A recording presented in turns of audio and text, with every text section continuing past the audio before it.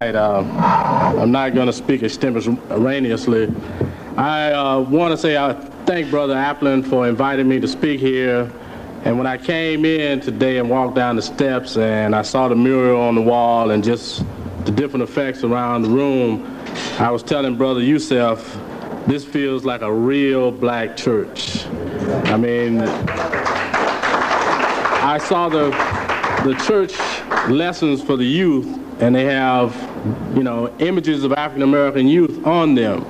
I'm from the South, and a lot of Southern churches use uh, they uh, order their materials from this Baptist uh, Sunday school market uh, in Tennessee, and you know they have white images. Uh, hopefully, the images you'll see tonight when we get to the slides uh, will change that imagery. And just as Brother Applin mentioned, the young brothers and sisters in South Africa who are being killed, kidnapped, and murdered, I want to dedicate this presentation to uh, Stolen Legacy, of the African presence in the Greco-Roman world, to them and to all the youth who are dying from crack and from the new thing on the block called bazooka, which is 10 times as powerful as crack. I want to First of all, start by mentioning a few great African scholars who blazed a trail in this field. I saw the sister in the audience with uh, George G.M. James' work, Stolen Legacy. Uh, you'll see a photograph of George G.M. James in the slide presentation. But I wanted to begin by saying that throughout the history of Western civilization, the African foundations of that civilization has been distorted, erased, and ridiculed. It is through the records of our African ancestors that we can glaze clearly through the eye of Tahuti to tell the story. The Greeks call him Thoth. It was the indigenous Africans of ancient Kemet or the Nile Valley who heralded this contribution to world civilization. One of the early proponents of Africans being present in the affairs of the Greco-Roman world was, of course, Edward Wilmot Blyden. It was Blyden who was one of the most learned Africans in the African world of the 19th century. He spent a lifetime vindicating our people. He spent also his early years writing. In 1869, in the Methodist Quarterly Review, he wrote of the African contributions to world civilizations in an article titled The Negro in Ancient History. He also wrote of Africans in the Greco-Roman world in 1884 in the African Repository. And this is what he wrote. In the earliest traditions of nearly all the more civilized nations of antiquity, the name of this distant people is found. The annuals of the Egyptian priests are full of them, the nations of Inner Asia, on the Tigris Euphrates, and when the Greeks scarcely knew Italy and Sicily by name, the Ethiopians were celebrated in their verses by their poets as the most just of men and the favorites of gods.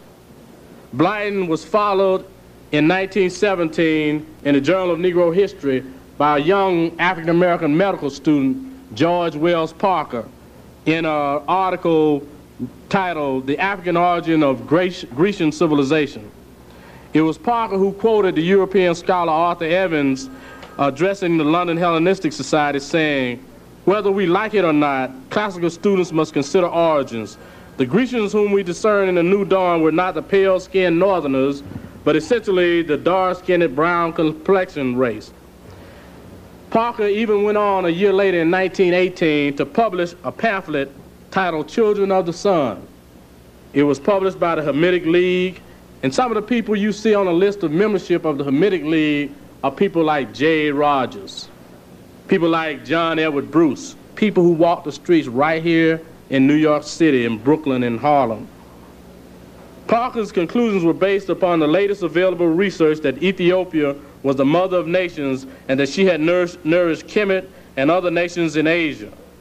Parker went on to quote Henry Schliemann, who was the one who did a lot of archaeological work in Crete and in Troy. This is what Parker wrote uh, quoting and referencing Schliemann. He said, Yet there were some who cared more for truth than racial glory, and among them was Henry Schliemann. Armed with a spade, he went to the classic lands and broke and brought back to light a real Troy. He viewed the tombs and palaces and treasures of Homeric kings. His message back to scholars who waited tersely for his verdict was, it looks to me like this civilization belonged to African people. George Wells Parker then made a startling conclusion that shook the very foundations of, the, of Western civilization when he said that the epics of African people and Helen, the cause of the Trojan War, must henceforth be conceived as a beautiful brown-skinned girl. Now, you might have read different works such as the Odyssey and the uh, Odyssey and the Iliad by Homer, but there are other works by these authors of Greece and Rome. But then we had other scholars, African scholars, such as William Leo Hansberry, the father of African American studies in the United States, a man who was ridiculed his whole academic career until in 1965, before his death, he was recognized by the University of Nigeria, where a history department was named in his honor. Hansberry, in the early teens of this century, as a student of Old Atlanta University, had read Du Bois's The Negro. And in it, he realized that the epics of the Homeric kings and gods was indeed an African story. He was relentless in his pursuits of documents on Africans in ancient civilization as well as in the Greco-Roman world. He even found works in his father's library, Eldon Hansberry, who was a professor at Alcorn State College in Mississippi.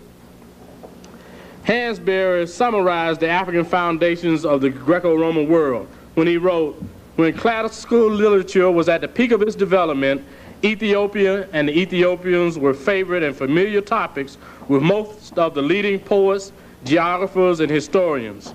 And finally, in the twilight of the classical age, when the glory that was Greece and the grandeur that was Rome was capable of casting but a faint afterglow on the literary horizon, Stephanus of Bas uh, Byzantium, Olympiodorus, and others sought to enliven the fading literature of a dying world by giving Ethiopia a prominent place in the historical stories and romantic tales which they endeavored to tell.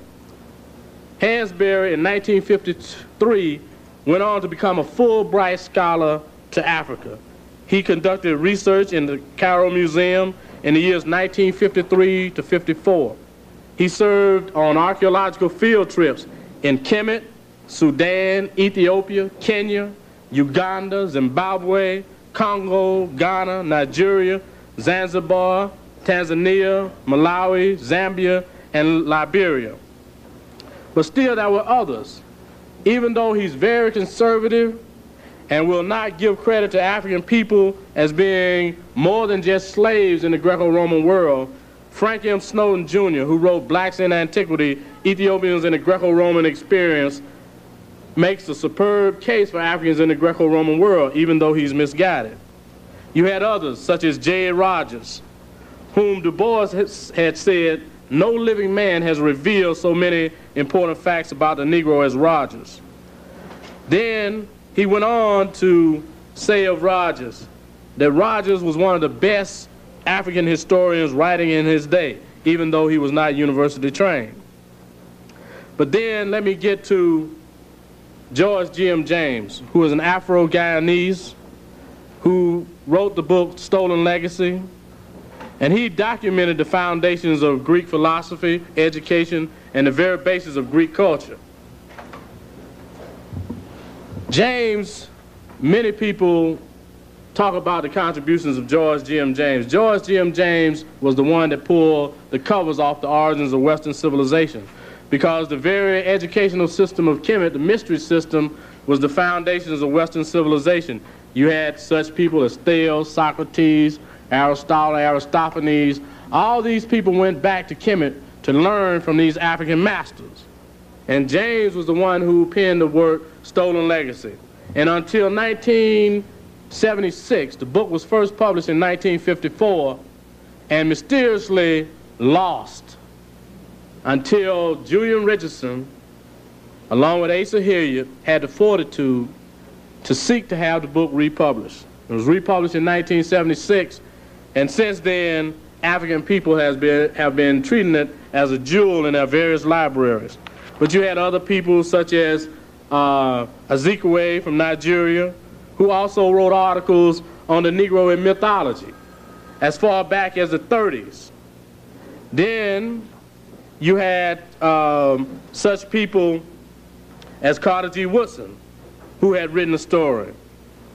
But then let me get into some of the meat, such as the various Kemetic elements that appeared in Greece by way of trade, mercenary soldiers, and by those Greeks who had journeyed by Kemet to drink at the enormous educational centers, places such as Apet Sut, which was known to us as Karnak. And at one time, this university had 80,000 students.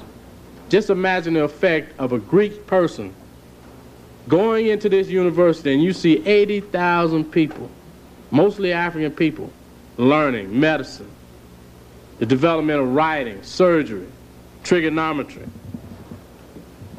But then the oldest Greek tale with Kemetic overtones appears to be that of Io, the priestess of Hera.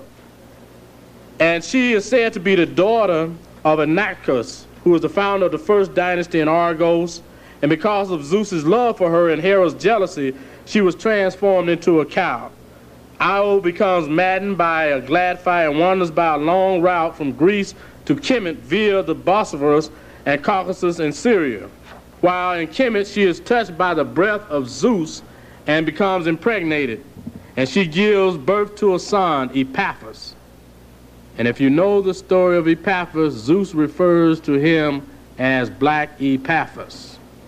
The main emphasis of the story of Io is her position as priestess of Hera in Argos, her transformation into a heifer or cow, her journey to Kemet and the birth there of her son, and the fact that the cult of Hera in Argos seemingly dates from Mycenaean times lends support to the theory that Io was contemporary with the 18th dynasty of Kemet when there was direct contact between Kemet and Greece.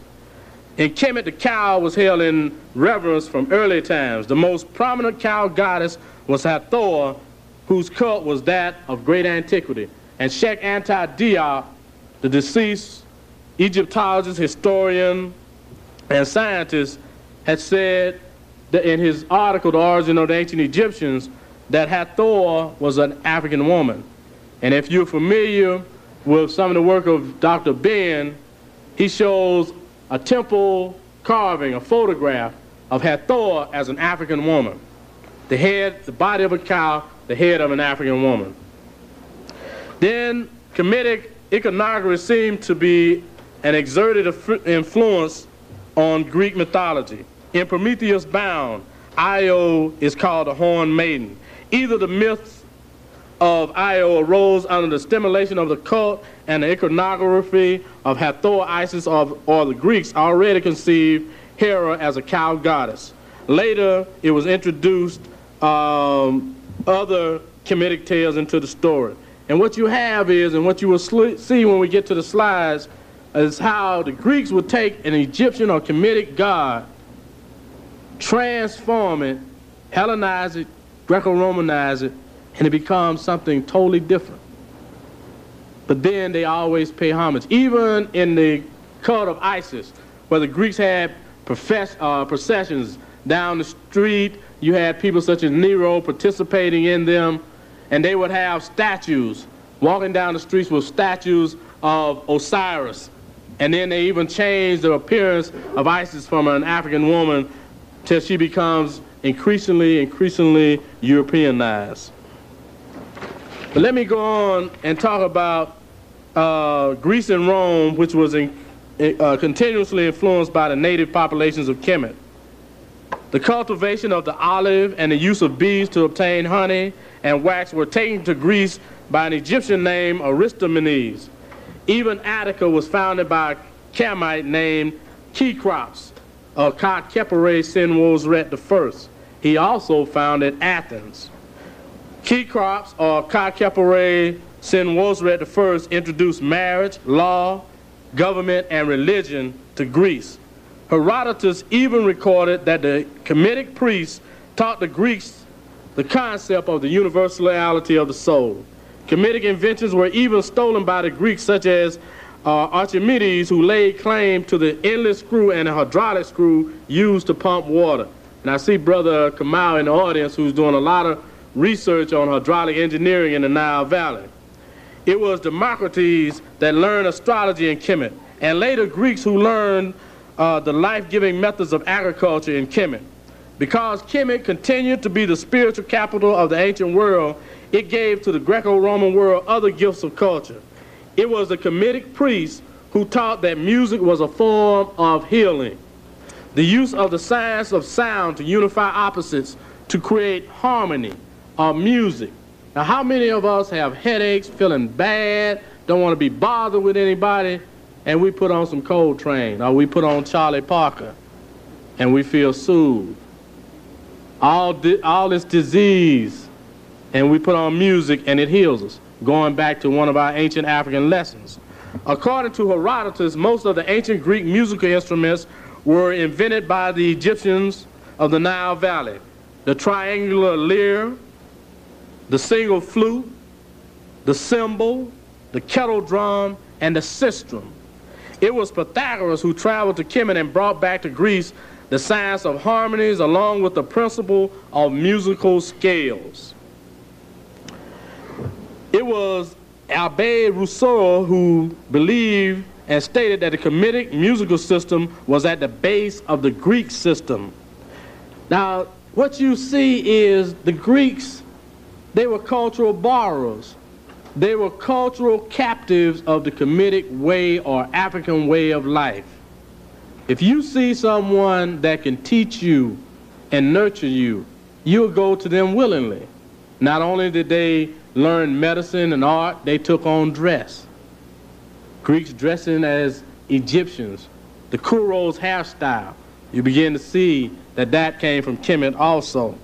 The lyre, the Greeks and Romans claim Mercury invented from the shell of a tortoise when he chanced to pick it up on the banks of the Nile. It was the native Africans of Kemet in ancient times that led the world in musical development. I remember going to one of the temple sites in Kemet this past summer and seeing the god Bes with the harp. This is 4,000 years before anything in Europe, and this is an African invention. It was clear that Greece and Rome were the cultural capitals of Kemetic culture. In religion, they remained captive for nearly 650 years. I can't imagine living that long or being around that long. But think, borrowing culture for 650 years. It was the Greeks and Romans who dressed as Kemetic priests and priestesses and borrowed uh, Kemetic African gods.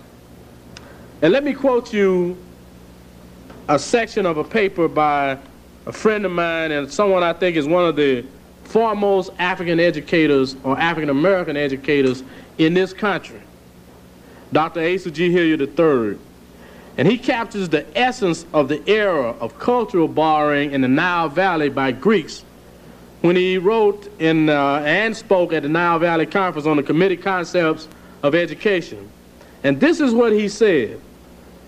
All over Kemet today, one can see the results of Greek and Roman conquerors' efforts to copy the culture that they supposedly conquered. They rebuilt African temples churches and schools and joined the African religion. They carved their own images on African temples. They showed themselves being blessed by African gods, wearing African clothes and performing, performing African ceremonies.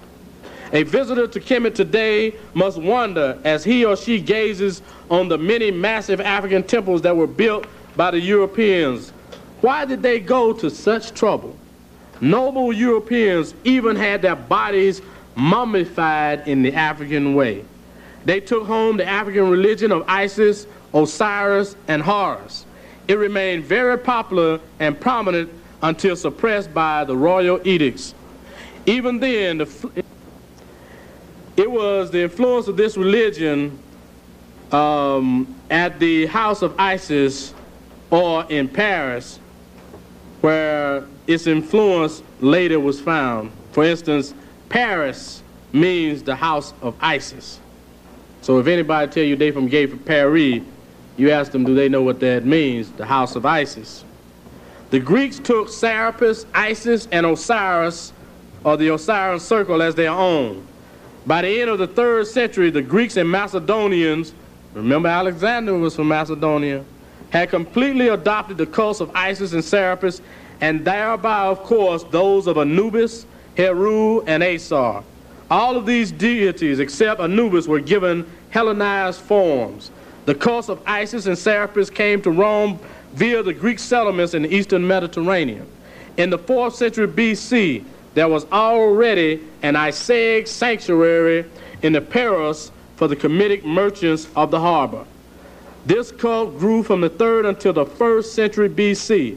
During this period, the Isaic cults practiced by the Cosmopolitan Society of Greek trade centers such as Alexandria, Delos, and Puteoli, and by mercenaries spread in the Mediterranean world along the sea trade routes.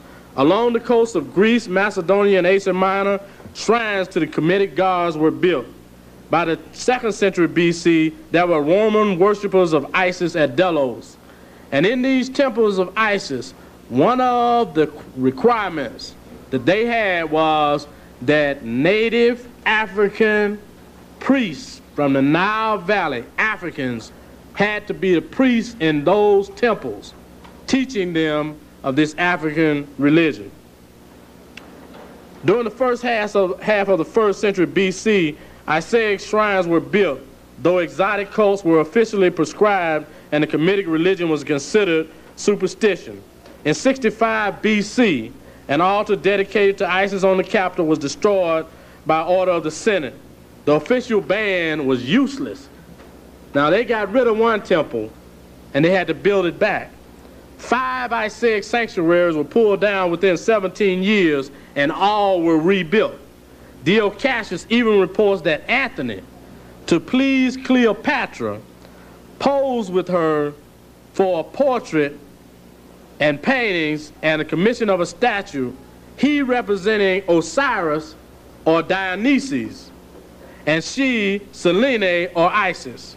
After a period of repression under uh, Tiberius in AD 14 to 37, the Isaic religion, religion settled permanently in Rome with the approval and participation of the emperors.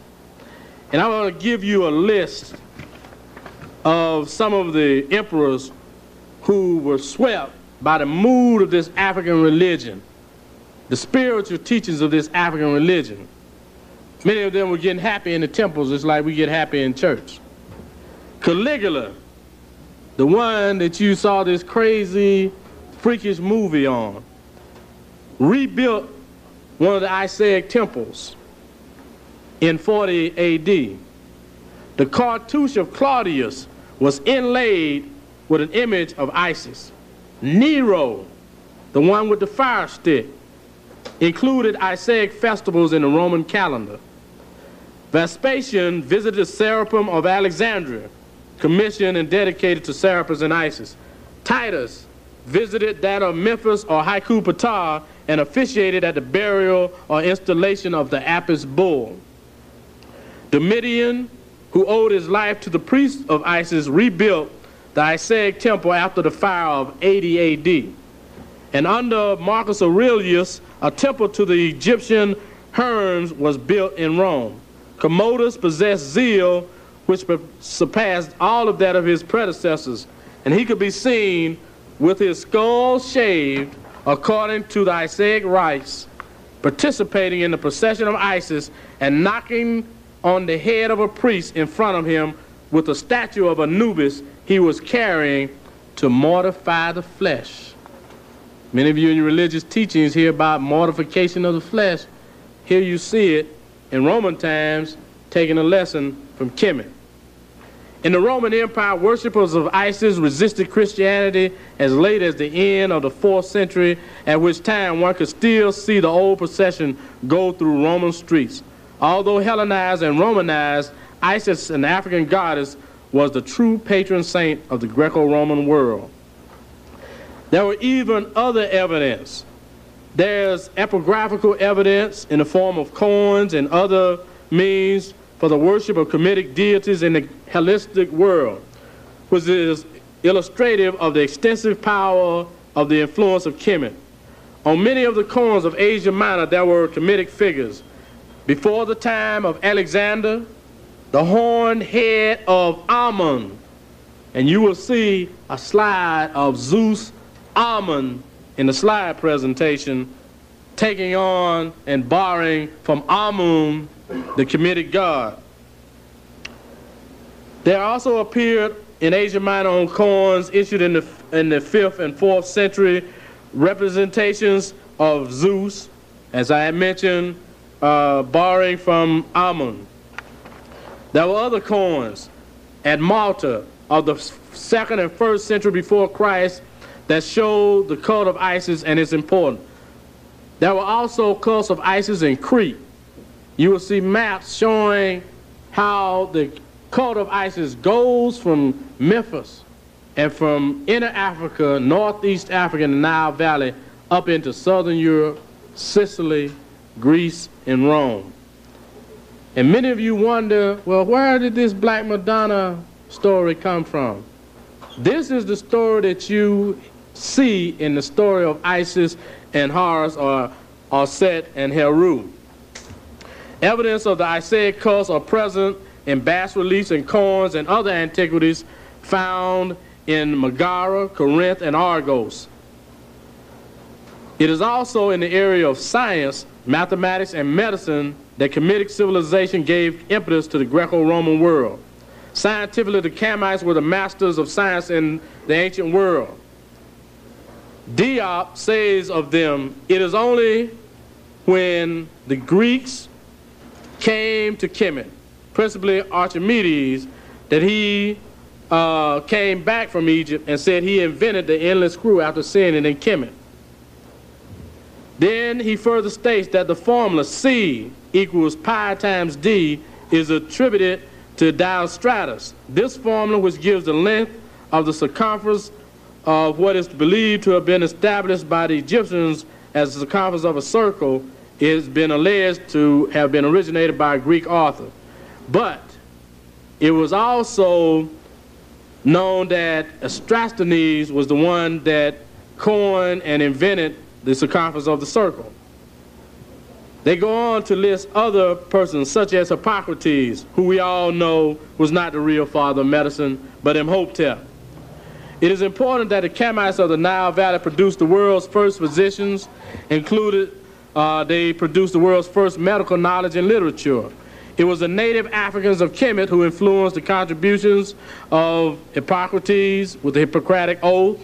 Uh, it was Hippocrates in his own essay on ancient medicine that reveals the invention of medicine that came from the Kamites. Even Pythagoras returned to Greece uh, and then to Croton, Italy, where he established a brotherhood imitating the Kemetic priesthood in dress, practice, and philosophy. The Greeks and Romans both continued to use Kemetic, Kemetic methods of arithmetic. Even G. Sarton believed that the ancient Greeks believed Kemet was the birthplace of astronomy. It was also in Alexandria that native Africans continued to bestow Kemetic genius on the Greeks. But then you had cases where Kemetic gods were borrowed by Greeks. Asar or, or Osiris, Osiris being a Greek name, of course, becomes Dionysus or Serapis Pluto to the Greeks. Or Set or Isis becomes Demeter when she becomes Greek. Heru, when he gets to Greece, changes to Apollo. Neith becomes Athena. Hathor, the African woman, becomes Aphrodite. Amun becomes Zeus. Tahuti becomes Hermes. Ptah, Hephaestus. Amun Ra becomes Ares. Khonsu becomes Hercules. Imhotep becomes Aesculapius. Heru Katu becomes Harmachis. The Benu bird becomes the phoenix. Nut becomes Rhea. Ra becomes Helios, Seb becomes Kronos, Set becomes Typhon, and Apu becomes Panopeus. So you see, for 600 years, the Greeks, after 332 BC, and after being prohibited for 5,000 years, came and were educated by Kemetic priests in increasing numbers. They studied directly in the Kemetic mystery system, even though there were restrictions. Even Pythagoras was given a runaround when he went to Heliopolis to be educated by the Kemetic priests. They were taught by others who had direct contact with the Kemetic priests, and the Greeks, as I said, were taught fragments. They were not given the whole story. But scholars knew this. They knew the African contribution to the Greco-Roman world. They knew that the Greeks got their knowledge from ancient Kemet. But then there was the big ripoff. Up until the 19th century, the story was told that Africa gave impetus to the Greco-Roman world. Then because of racism, the story began to be changed. You had cases where whole new histories were written. There was a place in Germany called a university called Göttingen University. And this at this university, some of the major educators were educated from Germany and England. The university was founded in 1734 by George II. He was later the Elector of Hanover and the King of England. And at this university, they laid the foundation for racism, colonialism, and imperialism. I'm going to give you some of the names and some of the highlights of some of these professors who shrouded many of their own people in ignorance about the story of the African contribution to Greco-Roman civilization, our stolen legacy. That was Johann Winckelmann. And Winckelmann was recognized by many as the founder of the academic discipline of his story. He worked mainly in the 1780s and 90s, and he even described Kemetic or African art as primitive. But then when he described these Africans, he said they were snub-nosed and bandy-legged. Then there was John Frederick Blumenbach, and he developed the theory of race, including the superiority of the Aryans. And he was a professor of natural history and introduced the term Caucasian into our language. Then you had Carl Muller, and he was the person who developed the system of source criticism. And this was the first step in discrediting editing ancient sources. All those people such as Homer, Herodotus, and telling people that these people didn't know what they were talking about, even if they saw a Kemetic person or an African person standing right before them, that they were crazy, in essence. Then you had uh, people such as Frederick or Christoph Human. You had Auguste Wolf, who was the librarian at Göttingen University. And he was the one that felt that Homer was the signal for the beginning of European civilization. And then there is some question as to whether Homer existed, because there were a number of different Homers. Then you had, of course, Christian Bunsen, who was an Egyptologist. You had A.H. Heeren, uh, who was a professor of history. And this person, Heeren, was ostracized because he felt that the ancient model was correct and he didn't want to agree with them regarding the uh, African origin of Greco-Roman civilization. But the story shows that we are people that influence world, world culture and civilization. Europeans go back to Greece and Rome for their cultural heritage. This is our culture and this is our heritage. But what you're going about to see is how they were influenced by us, that they were a mixed culture, a culture of cultural parasites. Just as you look at the Idiot Box and see them using our music for background music, for, for skits and so forth, just as they put King Tut's dog food on the air rather than put an African person in comedic dress, they'll put a dog up there, you know, uh, trying to portray our culture. But let me go to the first slide, the title slide, brother. Could someone kill the lights up here on the stage?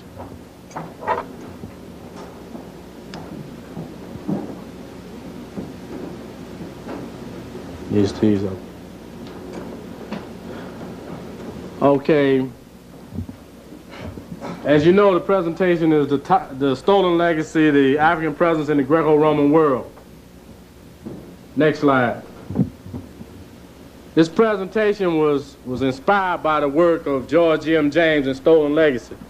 Now, many people search through, and, and part of this is to show you how you can take your own imagination and you can take the image, one image, to speak for you uh, in your historical quest for our history. George M. James, a teacher at Pine Bluff, University of Arkansas at Pine Bluff. This is a photograph that I was fortunate to find of him.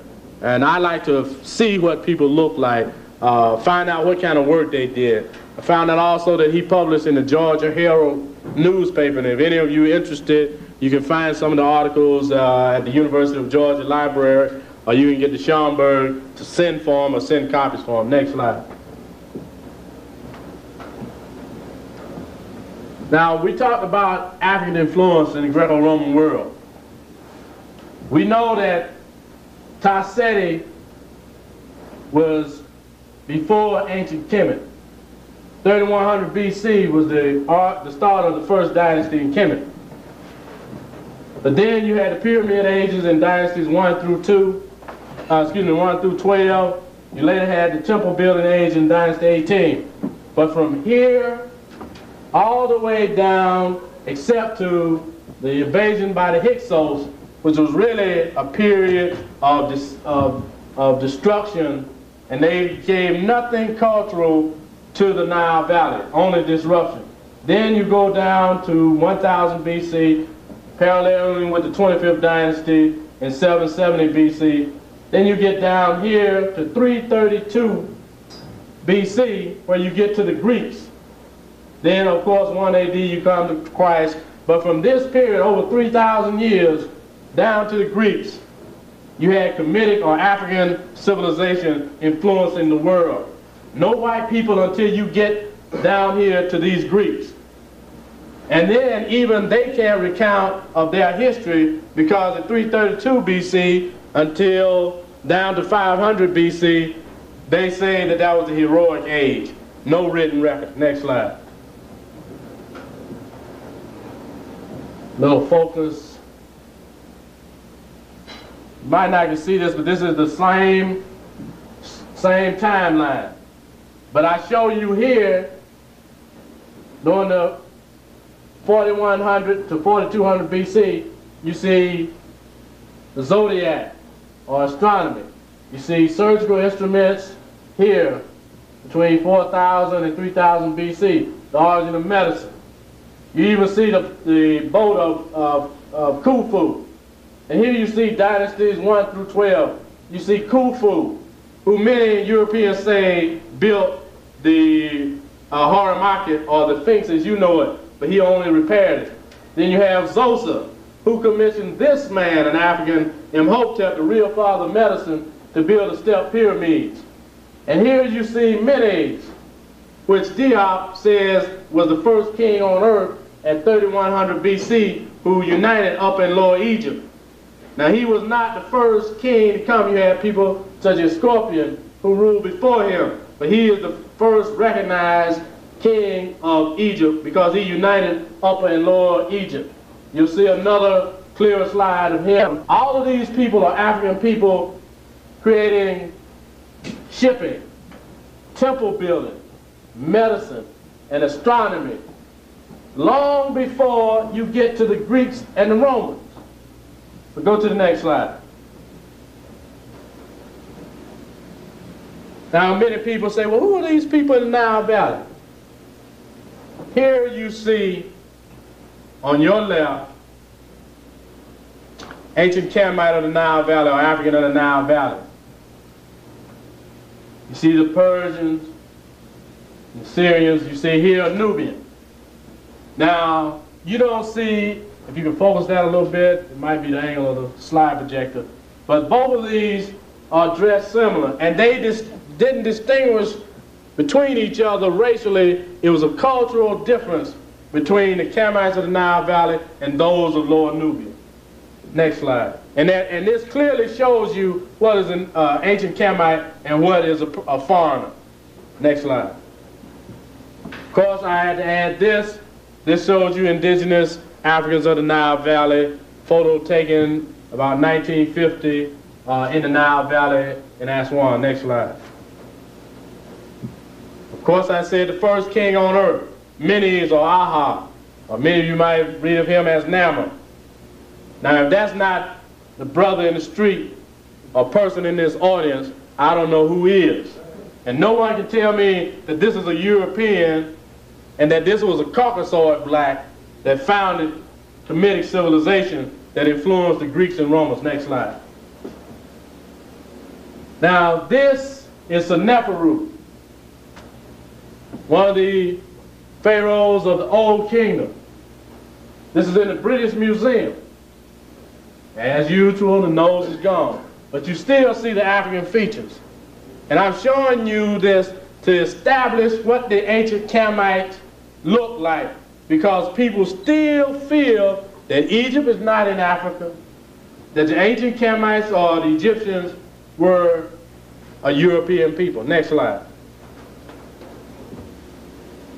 This is a mural from the dynasty of Mentuhotep. This is Kemsit, Queen Kemsit here. Notice the dark hue, just as you'll see of, of Ahmose Nefertari, an African woman. Now you see what they portray foreigners as, and you see what they portray themselves as. Next slide. This is Ahmose Nefertari. One of the, she's the founding queen of the 18th dynasty.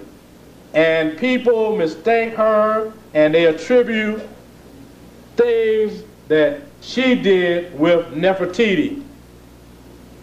Nefertiti comes later in the reign of the 18th dynasty. She was the wife of Ahmose I, the one who fought the Hyksos. She also had a son, I'm in Hope Amenhotep I. This woman was an administrator, ambassador, but many people, like I mentioned to Dr. Van Sertima in his Black Women Antiquity uh, journal, that there needed to be a story on this woman's life. Because we get everybody else, we get Hatshepsut, we get Queen Tiye, but this woman is very important. She advised her son, she was as an, an advisor in her family for over 40 years. Next slide. Of course, here you see her with her son, Amenhotep I. Still those African features. And as we all know, the blacker the berry, what they say, sweeter the juice. Next slide. Queen Tiye. This woman was the wife of Amenhotep III. They say he commissioned seals to her from, from uh, was it, Sinai to Nubia. Built a sacred lake for her. He loved her so much. Uh, when you're going toward, I think, the Valley of the Kings in the Nile Valley, you come across uh, two of the colossals. They call them the Colossi of Memnon. That's what the Greeks called them. But they are really statues of Amenhotep III.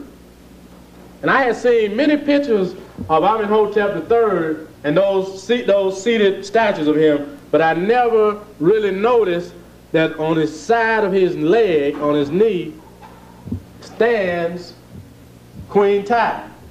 That was the first time I really had noticed it.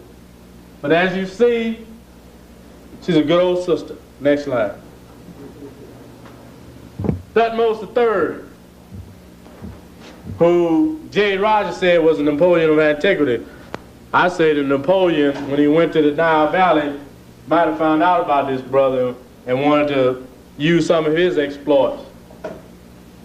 This, of course, is in the British Museum. And look at the nose and the lips.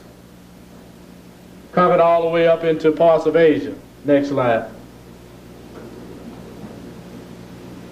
Okay, now I showed you what the people in the Nile Valley look like, some of their features. Now, here we start with their contributions. This I mentioned Osiris, or Asar.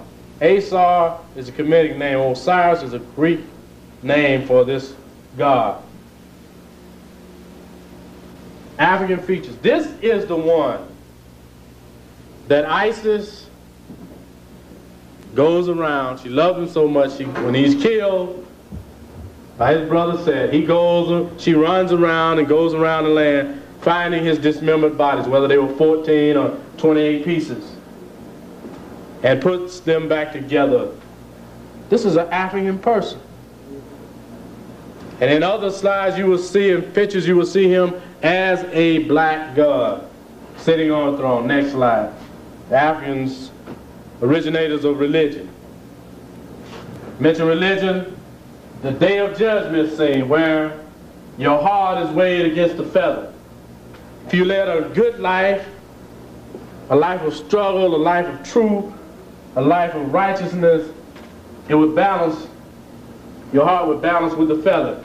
And you would enter in what they conceived as heaven at that time. If you led a wayward life, of course it would be heavier. And you know people who live wayward lives, it's always things on their shoulders, a heavy weight. Next slide. And uh, of course, this is the day of ju judgment. That's where you get the day of judgment from. Next slide. Evening shot, or twilight shot, of Har-Em Akhet, Horus of the Horizon. The true name of the Sphinx. I'll show you a later slide where you'll see a nice shot, but this shows you the African features of this statue or piece of architecture in the Nile Valley. Next slide. Here's a colonnade in the Nile Valley. I think this is Karnak or sections of what the university was called the Apet Asut. Those 80,000 students came to. Next slide.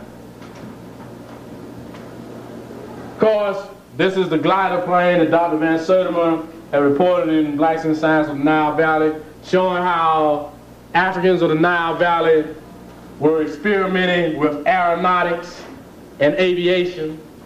It was mistaken as a bird placed on display, and they realized that this was not a bird, that this was a plane. Not so far-fetched when you look at the level of medicine, circumcision, that the ancient Kemites of the Nile Valley were practicing. Next slide. Course, surgical instruments, showing how these priests and doctors, they had whole schools such as the House of Life. You even had commissions of medical doctors who performed different surgical feats in the Nile Valley. And this is over two to 3,000 years before there's a Greece or there's a Rome. Next slide. Or Hippocrates. I mentioned the African origin of medicine, of course. You might recognize this from Brother Earl Sweeting's pamphlet, African History. It was republished, I think, this year out of London showing Africans uh, in the study of chemistry.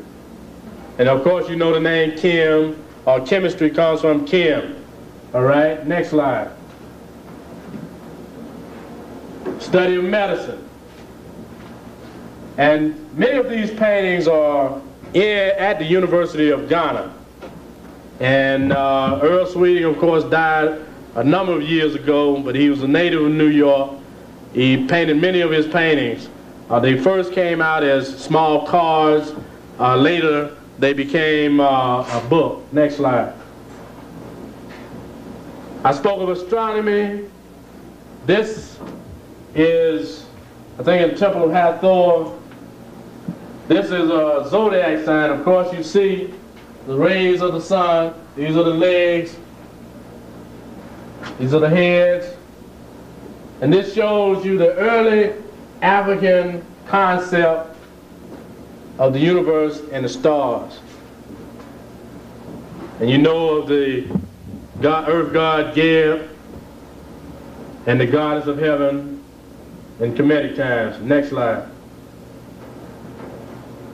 Of course, the first library in ancient Kemet, papyrus, writing, all of this, educational systems that the Greeks came to learn of.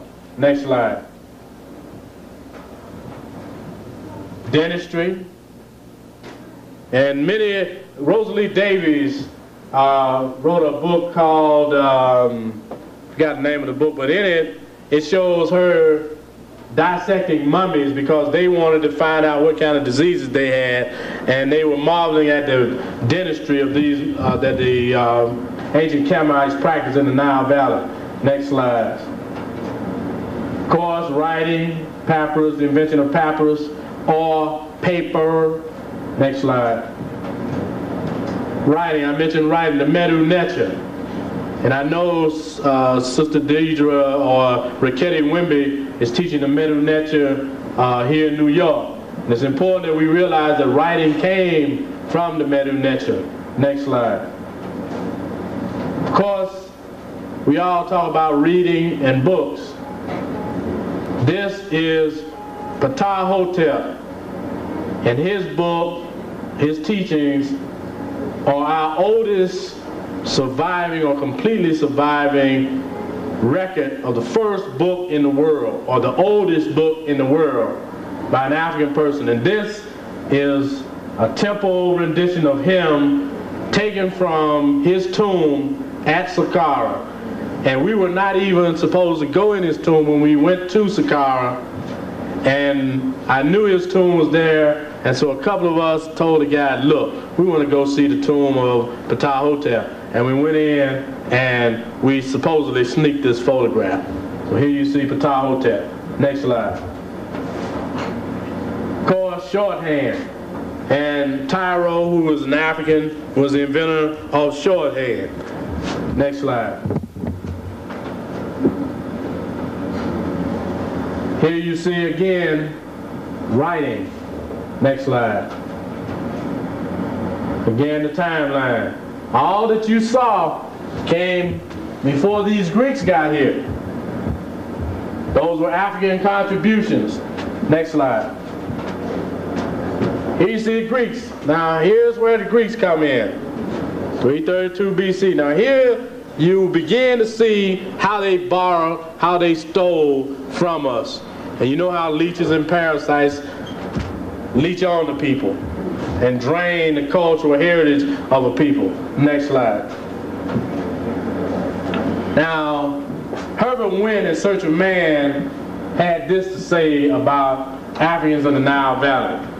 He said, so great was the achievement of the Africans in the Nile Valley that all the great men of ancient Europe journeyed there. The philosophers Thales, Anaximander, the mathematician Pythagoras, the statesman Solon, and an endless stream of historians and geographers whose works are all based on Herodotus' outstanding description of Egypt, to which the second volume of his history was entirely devoted. If you want to read more about what Herodotus had to say, read book two and book four of his histories. Then it goes on to say, in Blacks in Science, the most brilliant of the Greek students of science, such as Thales of Miletos, Democritus, Pythagoras, and Eudoxus, traveled to Egypt to study. Seneca tells us that Eudoxus had to go to Egypt to study planetary motion, and that at that time, Egypt must have been the world's leading center of astronomy. Pythagoras spent no less than 22 years in Egypt studying astronomy, geometry, and the mysteries. Next slide. Here you see a Greek lady. Now this is what they look like. And there's no discrepancy in how the Greeks look as opposed to the ancient Kemites. Next slide. Here you see Osiris, black god I had showed you, and the statue that's in the British Museum previously. He later becomes Zeus. Next slide. Here's Isis. Now look at those African features. But then you're going to begin to see some things that begin to change with Isis. Next slide. Here you see again, embracing her husband Osiris, protecting him. Next slide. All right. Here is a map, even though it's in French, it's the principal centers of the Isaic cults in Egypt. Abydos or Abdu, Hermopolis is Memphis. Now these are the Isaic centers in the Nile Valley. Next slide. Now watch what happens with these maps. All right. I mentioned Memphis. Here's Memphis. The diffusion of the Isaic cults. You see them leaving Memphis. They go to Cyrene. This is Crete. Southern Italy, or what became this Italy, Thessaly, on up into Southern Europe. You begin to see this cult lead. Now watch what happens to Isis form. Next slide. I mentioned the Isaic procession. These are the sistrums, the priest, the shaven head with the side lock. This is Greece. Next slide. I mentioned how they worship Osiris. You see the double crown, Hellenized version of Osiris, Isaic priests. You begin to see them worshiping African gods, changing African features of African gods, but worshiping African religion. Next slide. This is a slide of Isis and Horus or Set and Heru, the mother and child, the original Black Madonna and child. And of all places, this was found in Sicily. You heard me? This was found in Sicily. African god a Kemetic god and as far as Sicily. Next slide. Again, you see, this is Isis in the middle. This is Osiris. You see the other figure of Isis. You begin to see the figures change as they go up into Greece and Rome. Next slide. Here you see them in Sicily again. Osiris. You see Isis. She becomes more and more Europeanized. Next slide.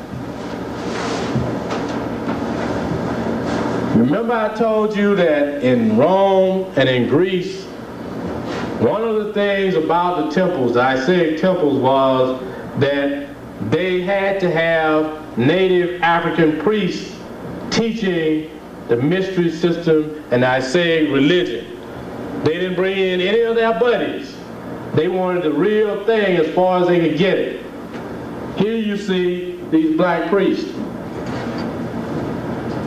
And here you see the Greeks learning this African religion. Next slide. Not only did they learn of our religion and our culture, they even wanted to dress like us. This is a Roman priest. Remember now, we're going to get to the kouros hairstyle. You see the hairstyle beginning to change, and the bust and the statue. They even uh, tried to experience, uh, experiment with the metal netting. Next slide. I said priests again, the temple scene. Increasingly you see that it has been a 3,000 year legacy that Europeans always try to use our culture. Isis. This is in Athens. Next slide. Of course, they began to change other things. I mentioned Bes. This is Bes from ancient Kemet. Now let me show you what he begins to change into. Next slide. They have supposedly a bust of Hathor on the top of his head. And here you see Bes again. But he's going to change again. Next slide. This is as he becomes anglicized, increasingly European features, changing that original African source, leaving the source and going far away from the original source. Next slide. Of course, a Romanized version of the god Ptah. I mean, they change, stylize it, and you begin to lose the true meaning of the source. Next slide. Course, we go back, we get down here, they're still trying to borrow from African people. Next slide.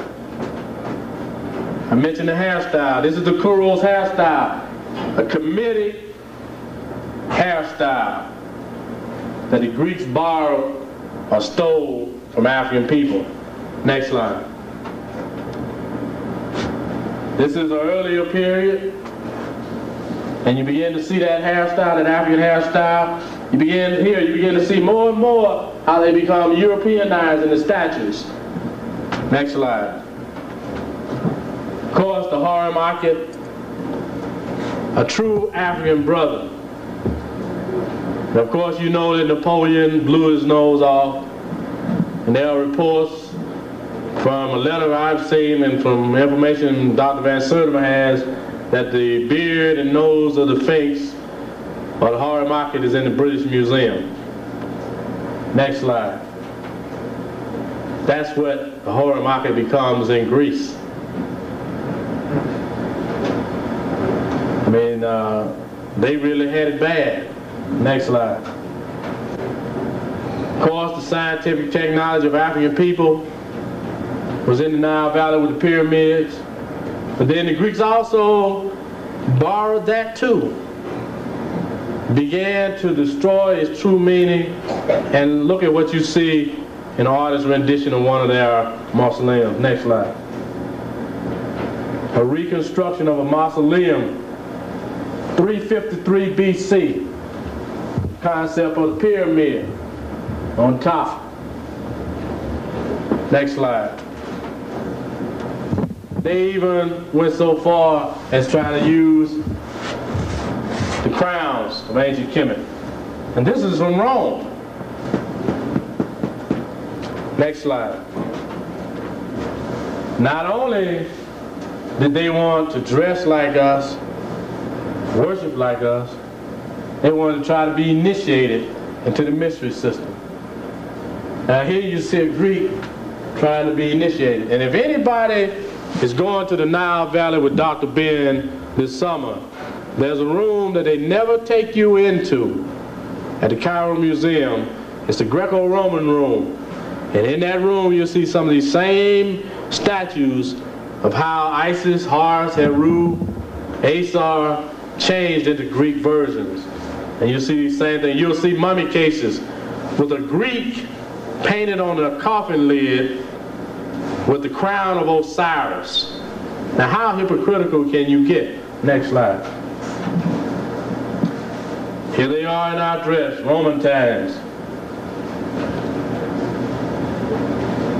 Now that, to me, that, that, that really, you know, turns my stomach because one, you're taking African culture and you're placing another culture inlaid over top. And you can never be yourself by aping other people. That's a message to us from 3,000 years of history. Next slide. This represents one of the sons of Caracalla. And he still has that Egyptian dress, Egyptian headpiece. This is in the Cairo Museum too. Next slide. Isis. And this is in the Egyptian Museum in Berlin. She completely changed from what she was as an African woman to a European woman, preferably Goldilocks. Next slide.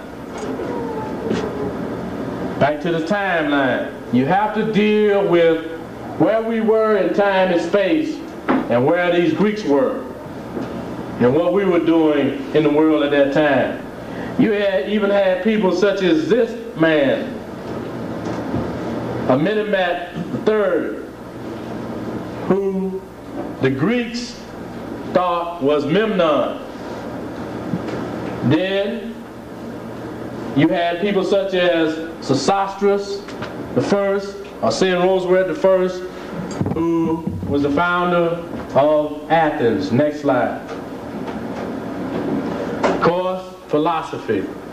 You know, the African proverb, same thing in ancient Kemet. Tale of two brothers. Uh, the transcriptions of uh, and reinterpretations of Kemetic literature by uh, Maulana Karenga. All these dealing with the philosophical, cultural heritage of African people. Of course, this is Sweeting's rendition of Aesop. But then, look what Aesop becomes from this brother in the middle to this next slide. That's not the same person. They even have him naked with a club. And this is in Italy. Next slide. I mentioned Athena. This is Neith, the Egyptian goddess. Now watch what she becomes when she becomes, and, and even the Greeks go back and say that Athena supposedly have been related to or her attributes related to Athena. But here's what Athena is in Greek culture. Next slide. This is Athena. Next slide. Now we talk about rulers and so forth in Greco-Roman times. This is Septimius Severus, the one who they say never lost his taste for food and who died in Gaul or France Right? This is him on horseback. And a hunt. This is a glass plate from Roman times. Next slide.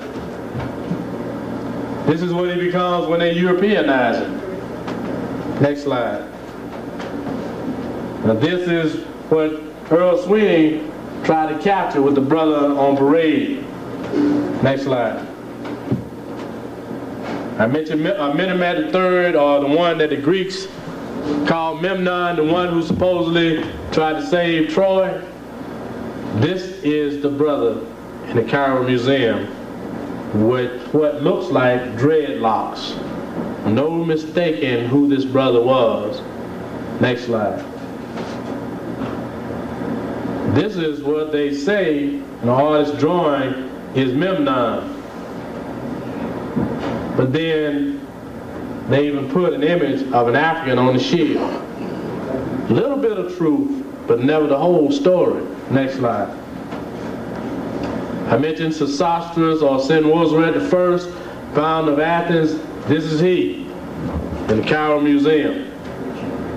Showing how Africans still had influence in the Greco-Roman world. That it was not this European culture that we hear about when we take the humanities and they throw on Homer, Socrates, Plato, and Aristotle to us and saying that they gave the cultural foundation to the world when it was these black Africans who did it. Next slide.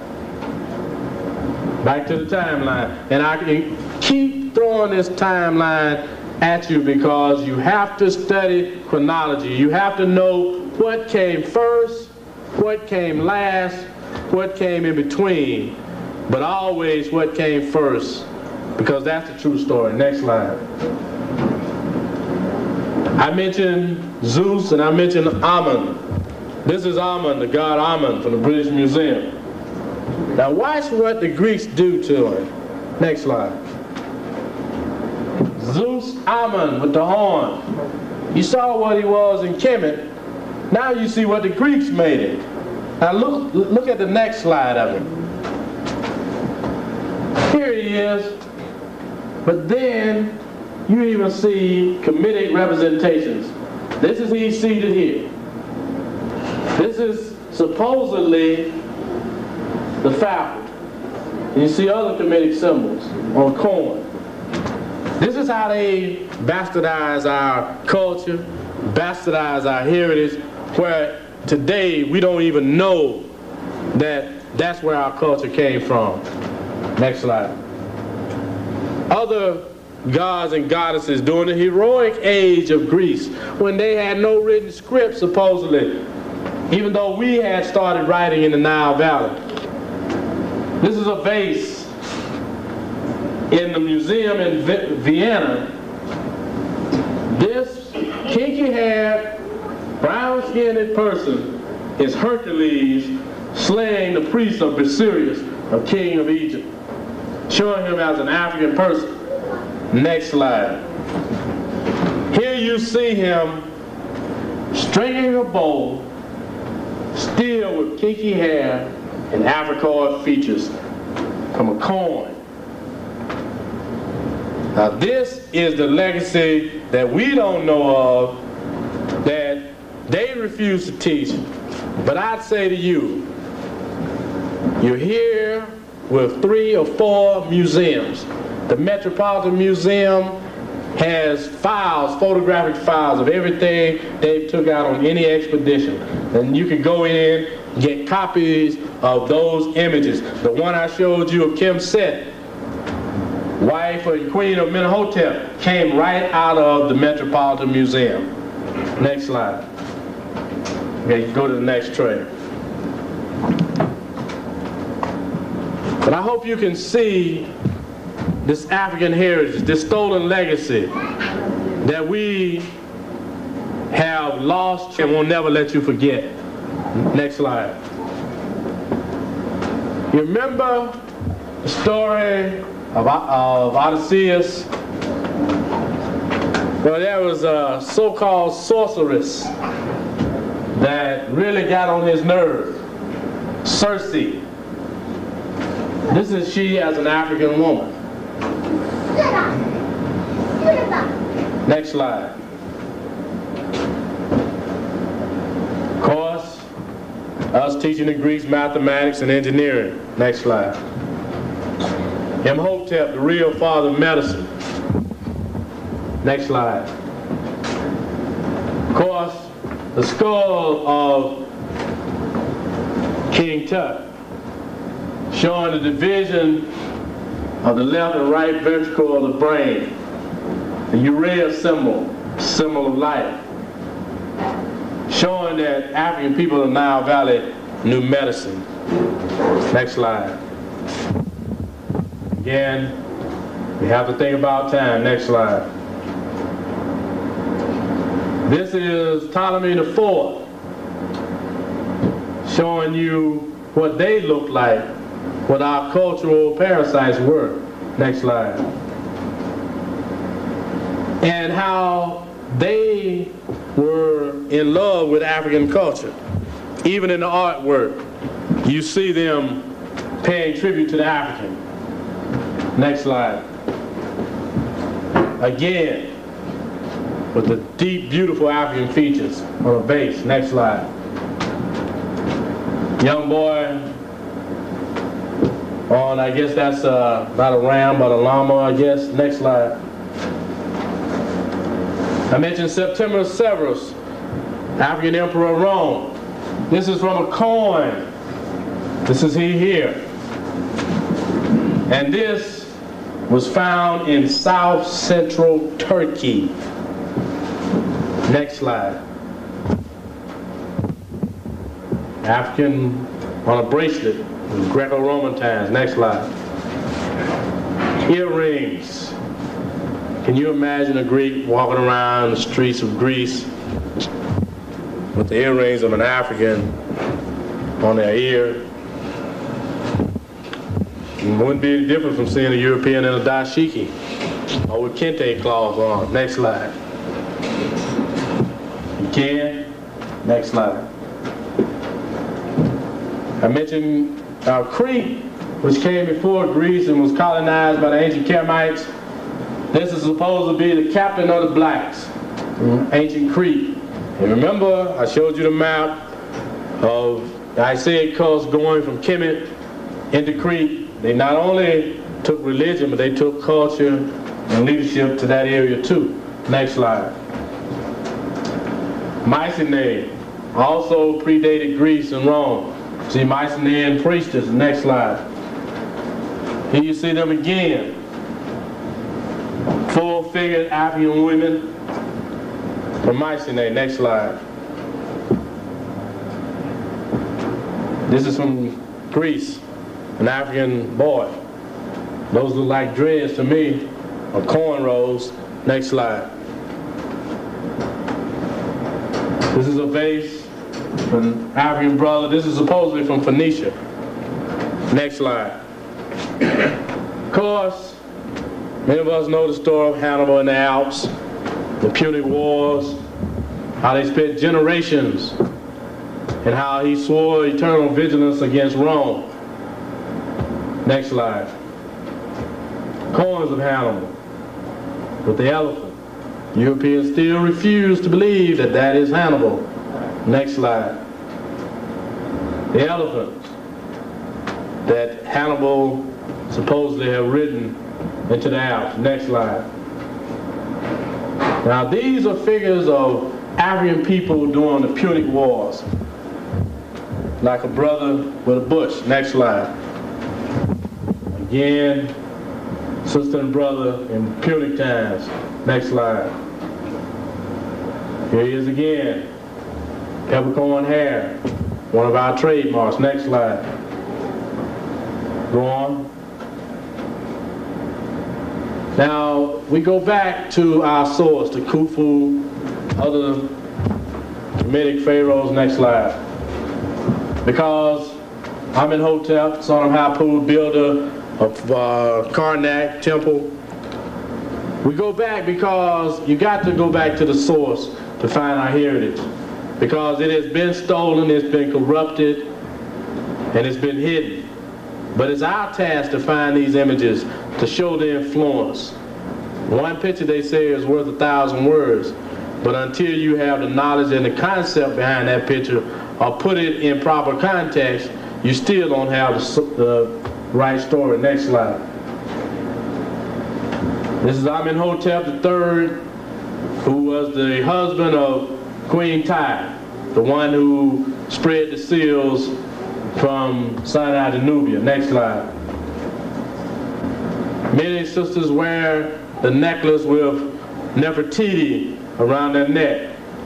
And many of them are the Europeanized version of a bust that they found in the Berlin Museum. They don't know where or who it is of. They just lay claim that it's Nefertiti. This is from her tomb. And this is what she looked like. Of course, Taharqa of the 25th dynasty. Next slide. And it's all a mind game.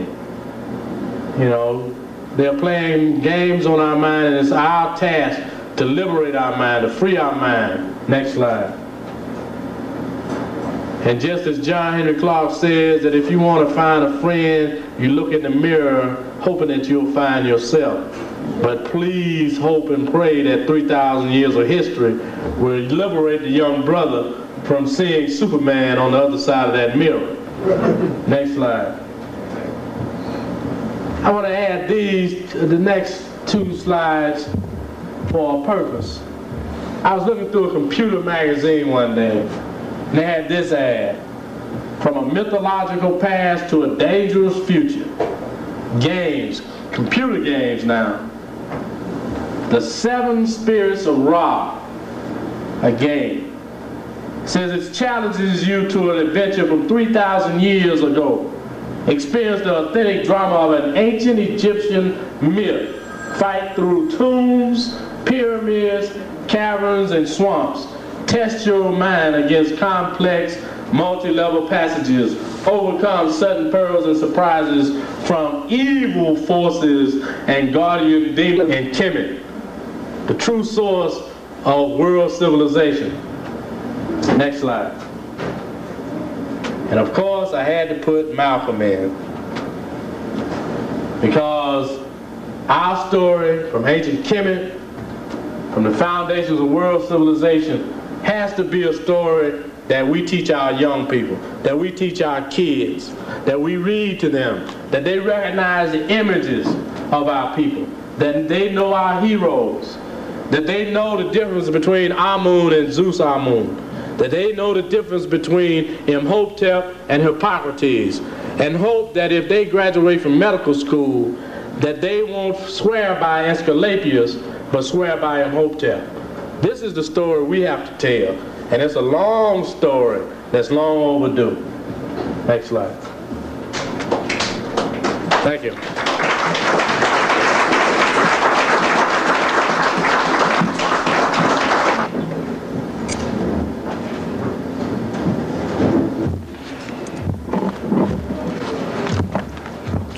Oh, by the way, if any of you are interested, I have some brochures on the table for the teachings of Ptah a book I helped uh, edit.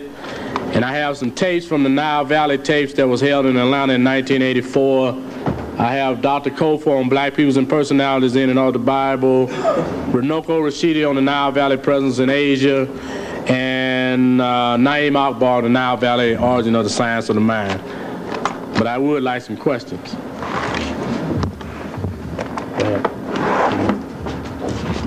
While they're thinking of their questions,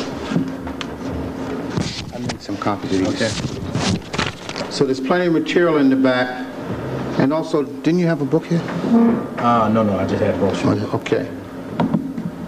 Um, Material is in the back, and I cannot believe that there is not one question this evening. Yes. Go ahead. Go ahead. Aside from Stolen Legacy, which other, which other books would you recommend um, to us in terms of uh, sort of tracing all of the influences of our ancestors to into Europe? I read Stolen Legacy, but uh, I think that you drew from some of the other the other readings, and Yeah. I'd like to know which ones. There are a number of readings. Uh, let me give you, take the key from Dr. Ben and give you some African sources. I mentioned George Wells Parker, um, Children of the Sun. It's a pamphlet you probably can get at Liberator Bookstore. There's also a book by Henry Olela. He's a brother from Kenya. He wrote a book called From Ancient Africa to Ancient Greece. Then um, one book that you know, I would recommend to you because it, it weaves a lot of stories, uh, but he recaps on a lot of uh, information by African historians. Um, uh, who is it? Martin G. Bernal's book, uh, Black Athena. Then, of course, uh, can't let you forget uh, Dr. Ben's Africa, the Mother of Western Civilization because he has a chapter on it, and he also has a uh, pamphlet uh, on uh, titled "In Pursuit of uh, George G.M. James' Stolen Legacy." I think that's the title of it. And I also have, if he could run a copy of it, I have a bibliography that goes with the presentation I made, and if uh, Brother Applin wants to run a copy of it, then he can make it available to uh, to people here. Mm-hmm. Yes. Yeah, I seen a bigger book, the oldest book in the world. I seen the Ptahhotep. I seen a bigger book in a paperback, white cover, about that some size. I don't know if you heard that book or know of it. Are you talking about the oldest book in the world by Myers? Right, uh, and I just found out that uh, brothers G.K. Osei or Gabriel K. Osei had recently passed, but he was the one that reissued uh, the oldest book in the world by Myers. And what he does is he takes a lot of the, the papyri and the, the books, fragmented books, and weave them together into this book. I think it was published in like 1906 or 1907. I would suggest that if you were looking for that one in, in particular, to contact Brother Simmons, George Simmons, if he's up and about now, to see if you can get a copy of it. Yes. uh. Could you elaborate on the fact that the Greeks put their alphabet, their alphabetical Okay, what what happens with the with the uh, Greek sororities? One thing is that when you have a culture that is trying to establish itself and run the world, then you put your images in your language. For instance, the, the sororities, any person that jumps into an, a sorority that's Greek has to be lost, no matter what kind of social uh, kinds of, of, of benefits you get behind it or from it. Um, you're looking at an alien culture and someone worshiping an alien culture. That's as bad as walking into a church and you see a white Jesus up on the wall. One thing that I found that that that really inspired me too is some young brothers at Morehouse College have organized a fraternity and they call the fraternity Kemet. And with the people that they're working with, they are going to use the Medu Neter as symbols on their sweaters and so forth. And their requirements, some of the requirements of their reading are Dr. Ben's works, John Clarke, and other people's work are in that. Uh, but the, the whole cultural adaptation of the Greek fraternities is another aspect of our stolen legacy. I didn't get into that because I had some striking photographs of some of the rituals that these Greek fraternities go through, the hazing methods and so forth. Yes. This is not a question, just a statement. hmm I would like to add something what the professor said. I came from Hungary. Hungary is East European country and a socialist country. When I was in elementary school and high learned all uh, the professor said. It was taught, uh, we learned about the African origin of human civilization. We learned about the Greek and the Romans, how they went to Africa and learned everything from the Africans. We learn about what the African gods were transformed into Greek gods and uh, everything. So basically, we learn about all the subjects that we were tonight. hmm Um, I just want to tell people that in Eastern countries, East European countries, they teach and this is the reason why I come to this church for four years and this is history lectures because I know about that human civilization. That's why I come here. Thank you. hmm Yes. Uh, is there a stolen legacy connected with the, um, uh, the and, uh, masonry, particularly with the 33 degrees, only 33 degrees? Uh, there's a lot involved in that. Um, your Masonic teachings, for instance, if you are involved in that or geared toward that, the teachings that you learn are just stolen legacies or lessons from the African Nile Valley. Uh, even the symbols, uh, if you take, for instance, when we went to the tomb of Seti I, we're walking down this rampway. I think Reverend Brown was in front of me, and on the wall was a, a painting of an Egyptian priest. If you know anything about masonry, the stance, the foot that you step off on, everything is there. Those teachings are nothing but stolen teachings from the Nile Valley. What has happened is the credit to our people, if they were to give and open up the credit for the Masonic teachings to African people, just think what that would do. If they won't recognize our contribution to Western civilization, and then the whole Masonic teachings, a lot of it keeps this country running. Even with the dollar bill you know of, the all-seeing eye of Heru and so forth, all of those symbols are there. And the point is, is even when you look at some of the Masonic teachings, books, or manuals, you see a case where Hiram Abiff is really Osiris, and they Europeanize him and he becomes Hiram Abiff. All of that is involved in this whole stolen legacy process. Yes. One more. In one of your slides, you showed an excerpt from the book by Herbert Wendt, The Mhm. Man. hmm Is that book still available? You can the only way you could probably get the book is through a rare bookstore, using rare bookstore. But the quote that I took that from is from a book called What They Never Taught You in Your History Class, and I forgot the brother's name, but you can get it here in New York. Mm-hmm. Yes. Uh, Georgia lecture this evening, and uh, the young lady from Hungary mentioned the fact that uh, time she was a little girl in school in Hungary, I believe that uh, she learned that cradle of civilization stemmed from Africa. And uh, I was wondering what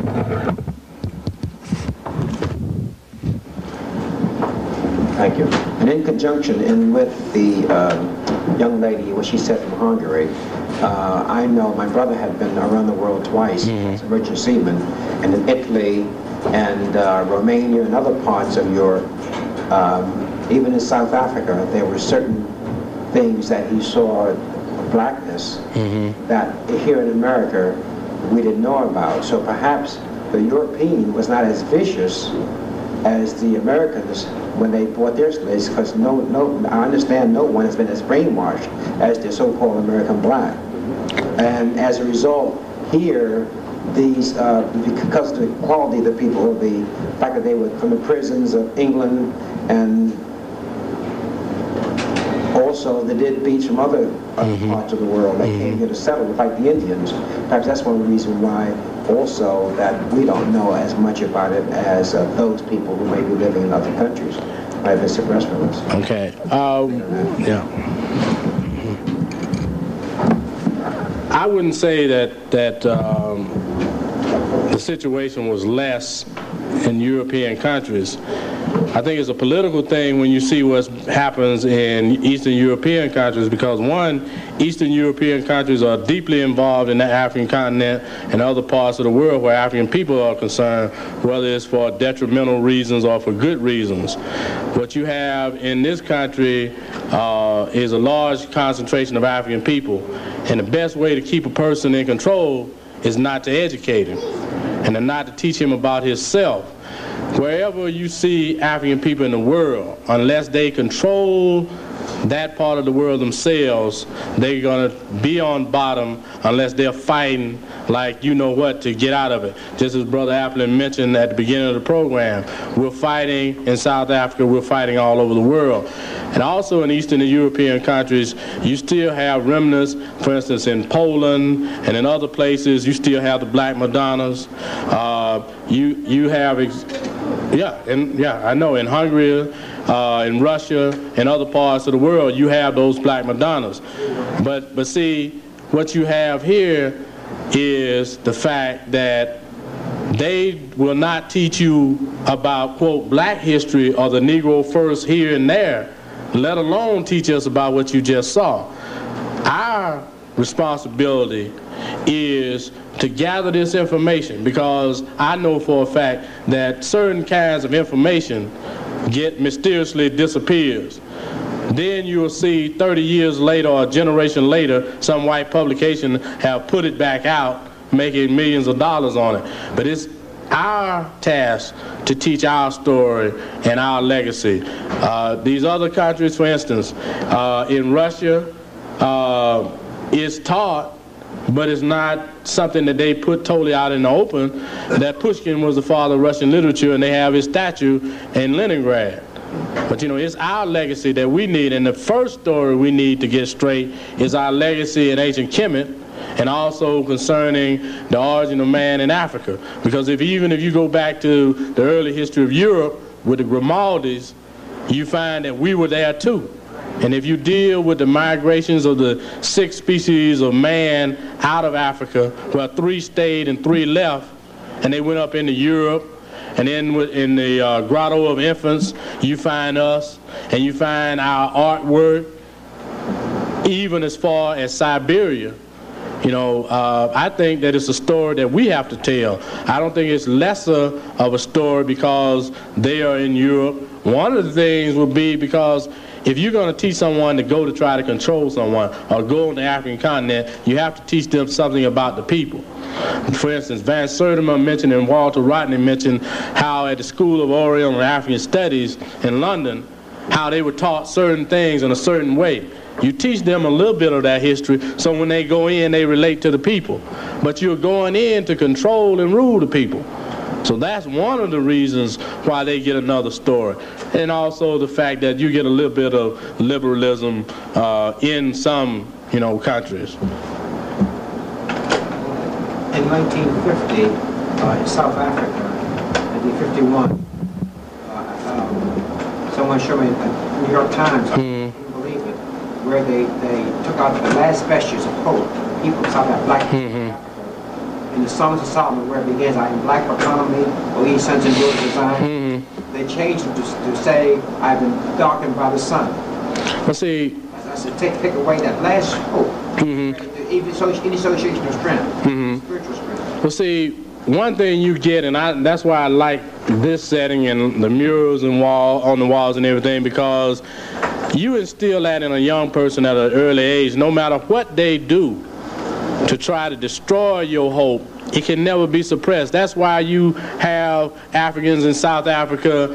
Uh, having this, what they call a Kentucky Fried Chicken, they take an inner tube and put it around a Tom's neck if he's out there cohabitating with the enemy.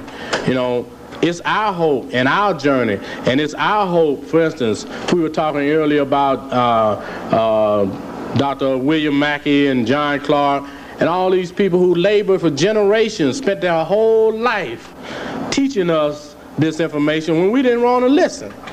But look where we are now. We're right here. But it's our legacy to try to hold on to it and build on it. And until we take the books, we take the images, we take the stories and hold on to it, nobody else will do it. That's why it's a cultural genocide going on among African people. Anyone else? The sister. I have two questions. Mhm. First question is, can you recommend a good book? Because I read Stolen Legacy in the Word. I have kind of foundation. Can you recommend a book that I could read, what I already read, but that would help me understand it? Because I was totally in the dark, Mhm. you know, as to hmm Okay, I would suggest that you start out. Now, you want to read something on the stolen legacy. I would suggest the first book that you should read that tells the story of what we possibly lost. He gives a good scope, the first 63 pages of Destruction of Black Civilization, showing what we had and what we came from. Then I would go with Henry Olela's book, From Ancient Africa to Ancient Greece, because what he does, he goes further than James does in a lot of ways. He takes the Pythagorean theorem, he takes the Memphite theology, and he breaks it down. And he shows you how it relates to modern culture and modern heritage. Uh, it was published in Atlanta by Select Press was that first 63 pages? of Destruction of Black Civilization. Chancellor Williams. Right. Um, also, uh, if you want um a good source book on information uh, on that legacy, the Journal of African Civilizations, the one dealing with the Nile Valley Conference, would be good because it gives you a panoramic scope of what was going on in the Nile Valley, from pyramid buildings to the House of Life, Cairo Academy, and so forth. Um, then the, the, the one specifically dealing with Europe would be uh, uh, Van Sertima's journal, uh, was it the African Presence in Europe?